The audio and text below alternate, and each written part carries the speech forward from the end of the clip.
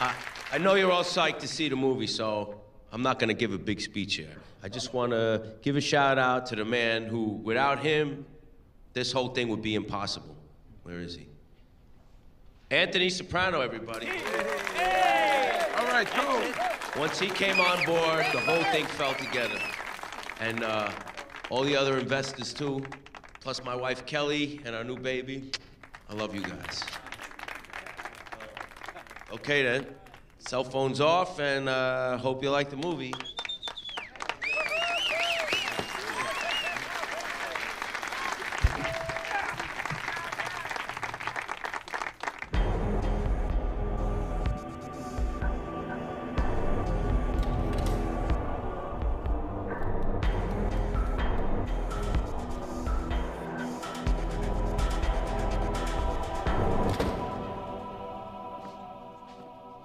You don't know what? He's a fucking rat. But we can't really prove it. Oh, so you gonna argue with me now? No, it's just, I mean, he's practically like your own son. I'm sorry, Sally. I think we ought to give him a pass. I didn't ask you what you fucking think. Motherfucking son of a.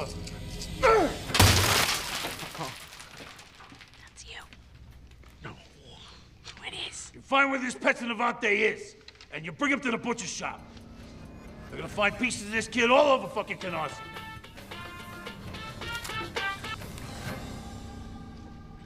Yeah. I'm sure he's fine, sweetie. You gotta relax. But For Michael to have not called? The wedding's in two days. Who? The Guatemalan? What time is he gonna be there? I hate to say this, but the truth is he ain't good enough for you. I mean, he's a good kid. What you need is a man.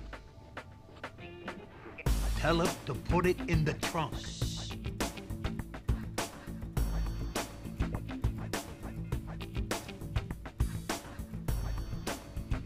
You know how long I've been waiting to do that?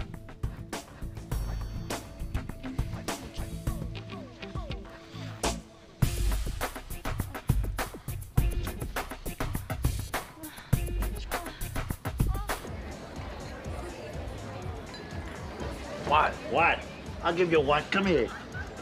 Fucking boss down in the cellar, white bathrobe. Where'd you get that? I don't know. Artistic choice. Seriously though, I'm very proud. Whatever else happens, you made a movie, Christopher. Nobody can take that away. Hundred years from now, we're dead and gone. People be watching this fucking thing. You know how much Imperial vodka I scored just from this party alone? I had a couple of cases put down in your card, too. Right?